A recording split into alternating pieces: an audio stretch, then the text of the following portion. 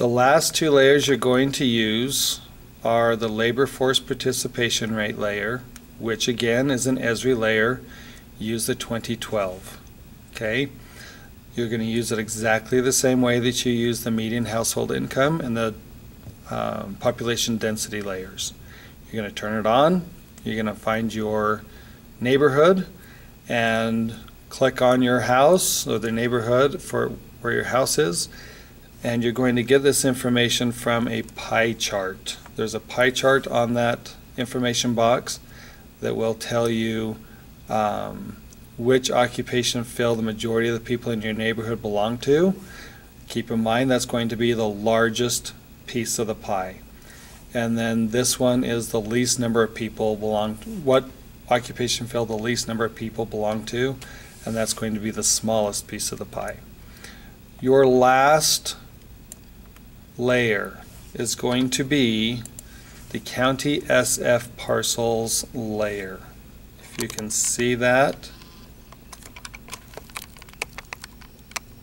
county SF parcels layer. So that in the quotation marks is what you are looking for. So you should be able to go up to your layers, turn it to search for layers. Right now I have the median household income. I'm going to change it to the county underscore SF underscore parcels.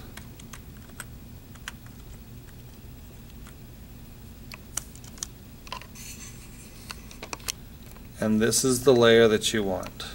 Okay? So I'm going to turn it on. Now this one has so much data on it that usually takes it a while to load.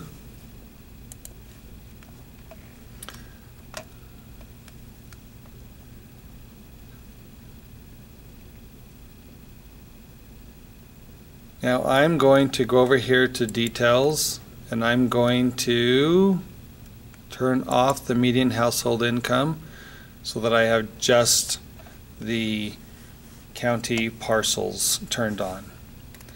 Now I'm going to go in here and I'm going to click on a house and it's going to ask you several questions. Some of the questions are going to be is this or does this website have the right address for your house? So if this is your house, then you're going to zoom in let me zoom my camera in so you can see this. So you're going to look at the site's full address and see if this address is the same or is the correct address for where you live. If it's not, maybe you have the wrong house. Maybe not. When you scroll through this, and there's more questions on that website, or on, on your assignment, Right here it says own full ad. This means the owner's full address. So this address is in case the property is not owned by the person who lives at that house. So this is the house. This is the owner's address. So because this owner lives in Orem, that tells us that the owner does not live in this home. Please note, it does say H5 Ventures. So this house is owned by a company chances are they just rent the house out to somebody.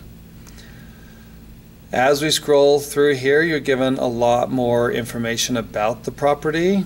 It's a uh, residential house. That's how it is taxed.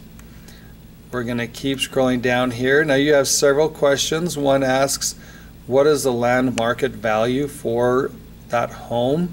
That is this one right here, MKT for market land value. There is an improved market value for your home. That's this number right here.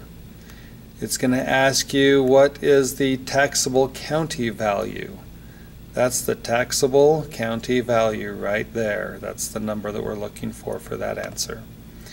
It also asks you about the size of your lot in square feet. That's this one right here, okay? Area in square feet, 11,742. That's roughly uh, a third of an acre, okay? So those are the answers you're wanting to get for the county parcels layer.